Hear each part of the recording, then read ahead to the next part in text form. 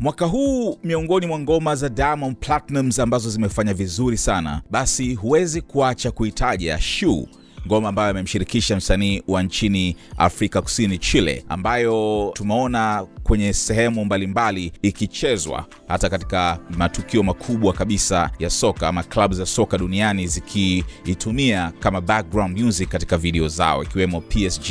Tuliona vilevile vile timu ya Spain ya wanawake iliyochukua kombe la dunia mwaka 2023 nayo vile vile ilitumia kwenye TikTok. Kwa mujibu wa Roma Mkatoliki ambaye yupo nchini Marekani akiishi huko kwa sasa, amethibitisha vilevile vile kwamba hii ngoma inafanya vizuri sana nchini Marekani katika clubs ambazo ameweza kuhudhuria. Kupitia Insta story ameandika kibanebane mwisho kiliwe na nyenyere. So ameandika haya mashairi yapo katika ngoma hiyo alafu akaandika huu mua unalia sana DC, kaweka bendera ya Marekani, klabu nyingi na kupiga makofi kwa hili. Kwa hiyo ndo hivyo, Shu inafanya vizuri sana katika clubs za huko Marekani, kwa mujibu wa Roma Mkatoliki ambaye yupo huko nchini Marekani. So shara sana kwa Diamond Platnumz, lakini pia unafahamu kwenye tuzo za Tres ambazo zimefanyika uh, usiku wa kuamkia Jumapili, vile vile uh, performance yake ili pata ubora mkubwa sana pia kutokana na performance ya ngoma hii Shoe ambayo ilifanya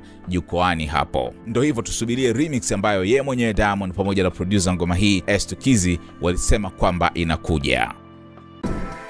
Attention! Your potential customers are watching this video.